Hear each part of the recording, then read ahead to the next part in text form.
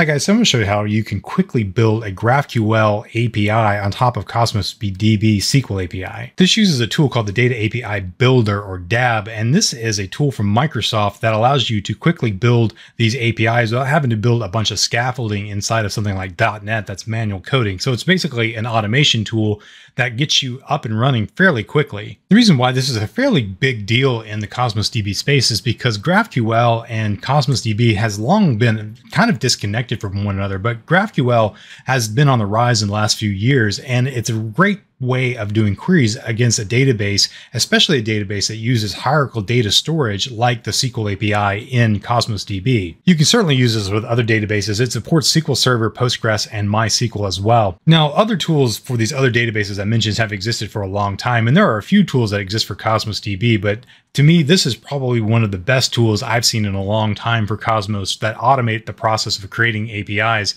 that you can quickly spin up for data access. So I'm going to just cut to the chase and show you how to install the tool, and then I'm going to create an API using a database that I already have. So I'm basically just going to go to my database, use the documents that I have there, show you how you can automate this whole workflow and be up and running very quickly. So the first thing you'll need to install is the .NET Core SDKs, and that's going to give you the .NET API. So this allows you to install tools using the .NET command line. So the command I'm going to run is simply to install uh, .NET Tools install global uh, from the global APIs Microsoft.data API builder, and then just run this command, and it's going to uh, install this. Since I've already installed this tool, you can see that it's going to give me an error here, but once you've installed it, you're ready to go. And it's just a command line tool at this point. So once you have the tools installed, the next thing we need to do is generate the schema for the GraphQL queries. Now, Cosmos DB doesn't have a schema. It's a schemaless database. So you can have the schemas basically be formed however you want to, but GraphQL is going to need a schema so that it knows how to translate these queries into the native query language, in this case, SQL, under the hood. So to do that, I'm just going to grab a sample document out of my database and I'm going to use a tool to get me the schema for GraphQL. So I'm going to use Data Explorer here and I'm going to go into a database that I called IoT data. And this is just a demo database I've been using for a lot of other things. And I'm just going to grab one of these documents here. So I'm going to click on this one and just copy the contents of this document. And then I'm going to go over here to this tool at transform.tools. And then it's the uh, JSON to GraphQL.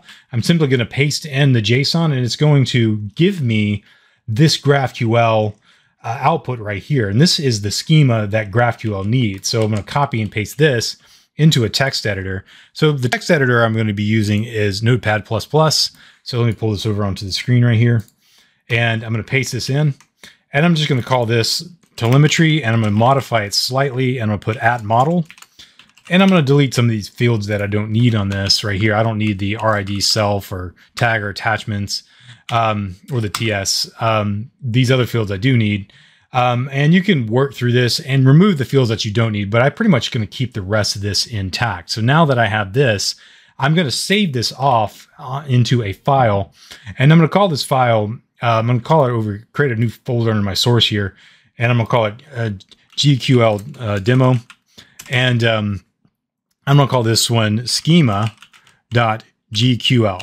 And this is then going to just basically be the basis for the schema that I'm going to be using with DAB to build the API with. So now that I have this, all I need to do is pretty much just wire up uh, DAB to use this schema and then wire up DAB to also hit my Cosmos database and we'll be up and running with an API. So the next thing I need to build is the config file for DAB to work. So this uses a command called dab init and this basically just gives you the parameters that we need. So basically what I'm going to tell it is the database type, which is Cosmos DB uh, SQL API or NoSQL.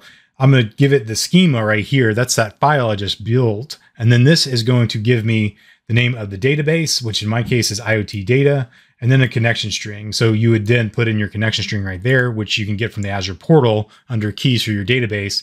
And then the host mode is development. That could be production or, or uh, development in this case. So this would be the command to run. So I'm going to go ahead and run this and create the dab config file that this will create. And I'll show you what that does. So I'm going to run that behind the scenes so you don't see my account uh, string. But in any case, once I'm done with that, you'll see the file built. So once you run it, you'll get some output that looks something like this. And it's going to basically point you to the config file. So this is going to be in that source folder where I dropped that GQL file. So I'm going to open this file up in Notepad++.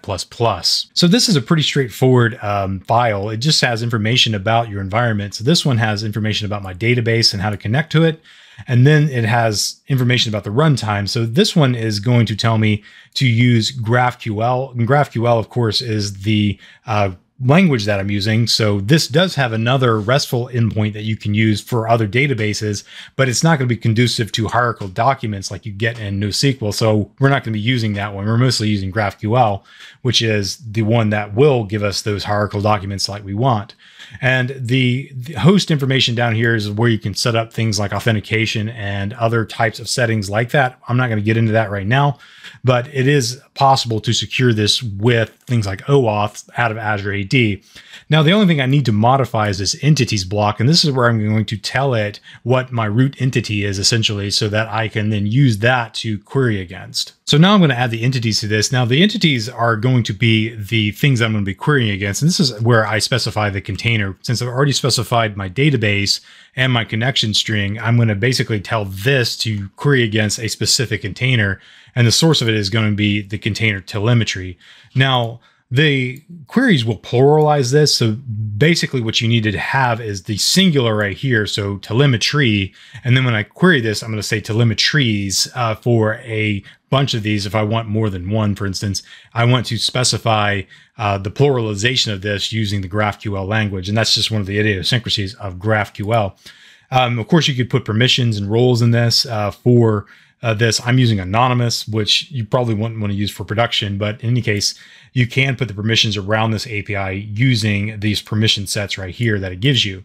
Now, it doesn't support REST, but it does support GraphQL, like I said. And so this basically just wires it up to that container. So that container is going to contain the telemetry docs that are going to be found inside of this guy right here. And so this one's using type telemetry and that's got this at model. So that's basically telling the query engine that this is kind of the root of my uh, document structure that I'm going to be using. So let's go ahead and build this guy using this config file and start it. I save the file and I'm just going to call dab start right now. And that's going to start this guy up. And you can see that it's running on localhost 5000. And now I'm going to use Postman, which is a GraphQL client to connect to this. So I have Postman up now, and now Postman works as a GraphQL client. Now, this allows me to run GraphQLs against an, an endpoint. So to set this up, just set up an HTTP post. So I'm going to be using this HTTP endpoint, which is my localhost 5000, and I'm going slash GraphQL, which is the URL for my GraphQL queries. I'm doing a post uh, against that endpoint right there. Now you want to set the encoding type to GraphQL right here. And so this is um, one of the many that it supports, but it natively will support this one. So now I then put my query into the syntax that GraphQL uses. And so it looks like this. So I'm basically going to request telemetries because it pluralizes it. And I'm going to say, give me the first 50 and uh, sort them in descending order by ID. So it's going to send that request and it's going to give me a bunch of data back just in an array. And it's basically JavaScript uh, object notation, so JSON data right here now, but they're still working out some of the bugs and adding features to it. And as this product matures, sure, it'll be a great project for building APIs on top of your data sources in Azure. Now, Cosmos DB is the one I'm most optimistic about. I certainly think it's going to be one of the best ways to build GraphQL APIs on top of uh, Cosmos DB because beforehand that was a fairly manual task and was very arduous. But this kind of takes the edge off of it because you don't really have to worry about that translation layer between GraphQL and the SQL API. You don't have to build all the adapting code for that. So it just does it for you. So I'm looking forward to see where this goes. And hopefully, as it matures, it'll be wider adoption. We'll be seeing a lot more of this in the future with Cosmos DB. If you like this content, please consider subscribing to the channel by clicking on the subscribe button. You can also like this content by clicking on the thumbs up or share this content with your friends, and also comment in the comment section down below. You can also find me online at www.blaize.net or on Twitter at the One Mule. And as always, thanks for watching.